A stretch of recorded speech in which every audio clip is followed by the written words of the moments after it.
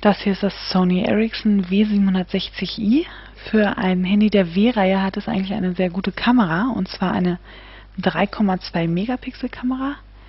Die finden wir hier hinten am Gehäuse. Und die ist auch eigentlich immer gut geschützt, wenn das Handy zu ist.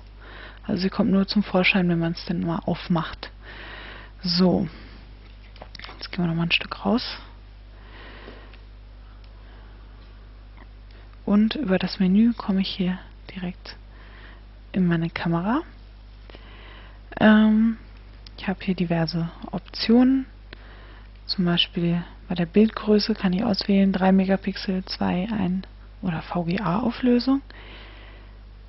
Und ja, es gibt einen Nachtmodus, Selbstauslöser, Weißabgleich, Effekte, ähm, Fotoqualität, Überprüfung, Position, Speicherziel, Verschlusston. Ich kann die Einstellung zurücksetzen und auch die Dateinummer. So, hier oben sehe ich den Zoom.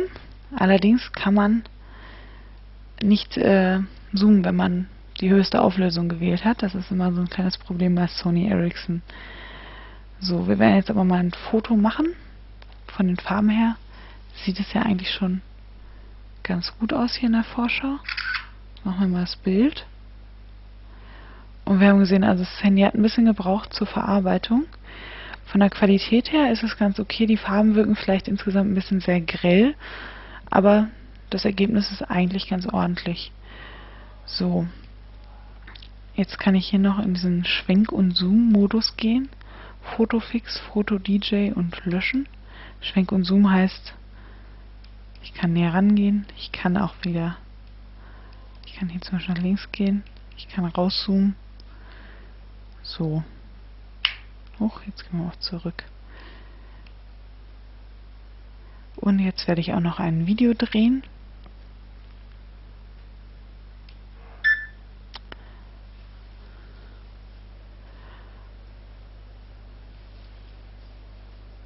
So, Stopp.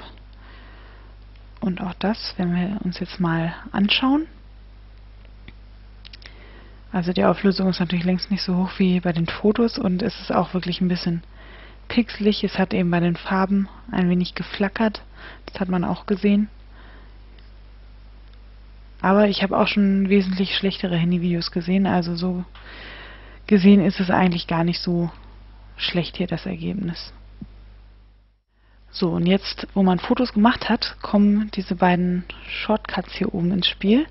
Wenn ich hier rechts drauf drücke, dann lande ich bei so einer Art Fotoübersicht mit, ähm, mit dem Aufnahmemonat und links lande ich direkt bei den Fotos. Ich gehe mal ein bisschen näher dran, damit man es besser erkennt. Und ich kann mir das Ganze jetzt auch im Querformat angucken. Und, das ist ganz stylisch hier animiert, kann ich wechseln. Man sieht, das sind unterschiedliche Fotos.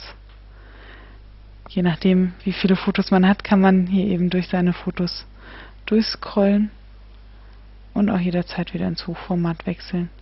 Also das ist wirklich sehr schick gemacht. Ähm, hier kann ich auch direkt, wenn ich nach oben gehe, dann kann ich das Foto direkt verschicken.